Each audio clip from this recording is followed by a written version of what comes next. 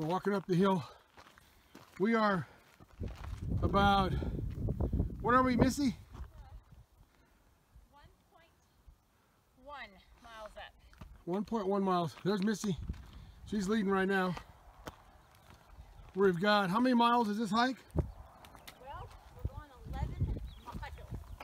So we're less than 10% into the hike.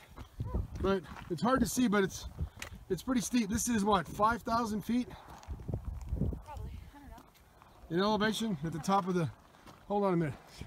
It goes 7,000 at the very top. So we're getting to 7,000. Yep. So this is beautiful Fort Davis, Yep. the Chihuahua Mountains, Chihuahuan Desert rather, the Davis Mountains. So here it is. Beautiful. All right, we're at the two mile mark. Hey, This is uh, what it looks like if you have the wherewithal to go two miles. In the background, that's Prude Ranch, which is where we held our, I'm gonna walk over and show you. It's where we held our big ball for our school, the Fort Davis Officers Ball. There it is in the background, but isn't it beautiful? So we got about eight and a half more miles to go, but it's really pretty up here. It's worth your time if you've ever thought about getting in shape and what the payoff is, uh, this is this is one of them. It's beautiful up here. So, two mile mark. This is it. This is the summit. We have made it. Over there in the distance is an Indian lodge. Down there is where our camper is. As I scan or pan across, that is Fort Davis. here's a trail we took yesterday.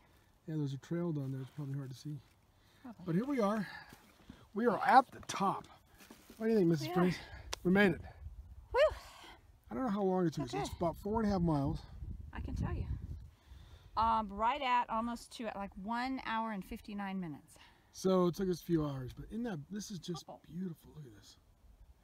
This just goes to show you, if you put the effort in, the payout is worth it. Mhm. Yeah. Almost halfway. We're on the back side of the, what is this called? The what? This is the Sheep Pen Loop. So they did- mile. They just did a, that's our six mile. They just did a big burn here. Look at that. All that was burned out. It's all coming back. But this is on the back side of the mountain. We were over there, uh, like over across there. And we walked about a mile and a half since we were at the summit. But it's totally different on the back side. Yeah, very good. The controlled burn is interesting. So that over there, what is that over there? Uh,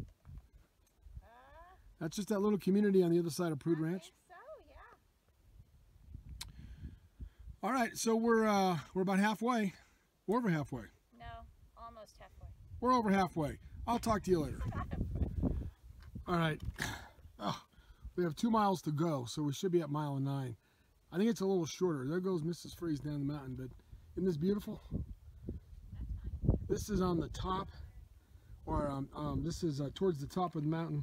We're about uh, 1,800 feet lower than what we would be at the summit that I showed you a while, ago. But Mrs. Freese's feet hurt. She's ready to go. My feet hurt too. Yeah, they're they're hurting. But here we are. Mrs. Freese is talking to Tori. So next video from the truck. This is it. We're almost to mile 11. We're almost to the truck. This is Mrs. Freese. How do you feel, Mrs. Freese? That's what we hiked. All of that. And now we're getting to the end. What was your best part of the hike besides right now? Oh. Sitting up there at the top. 7,000 feet. It was nice. So, I think it's time to get refreshed. There may be some beverage in our future, I hope so.